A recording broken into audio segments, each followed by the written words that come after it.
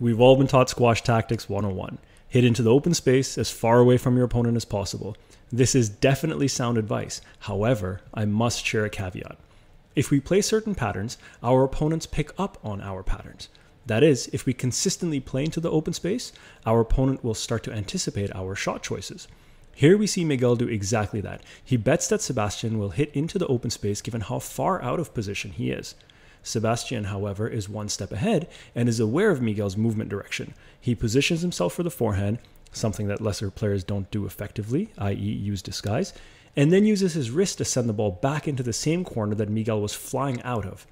At a certain level, depending on our opponent's movement, hitting back into the same corner they just hit from often becomes a winning strategy. Remember, always remain aware of your opponent's position and tendencies, and you will remain one step ahead of them. This is purposeful squash.